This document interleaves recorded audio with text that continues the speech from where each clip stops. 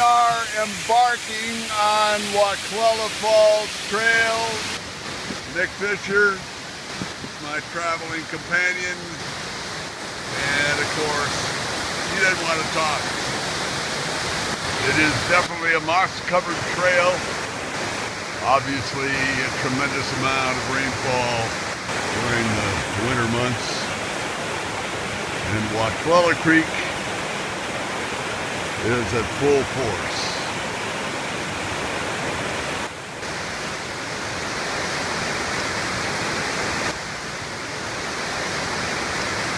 I have a friend that I took on this trail once.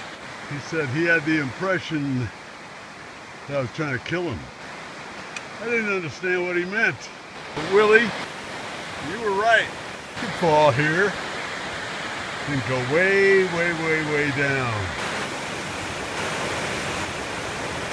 And now, just ahead, the purpose of this hike Wahclella Falls. What might be kind of amazing is that people actually dive in and swim here. Nick says they wouldn't be diving in now. Well, I think the flat out fact is that we truly picked the perfect day to come here.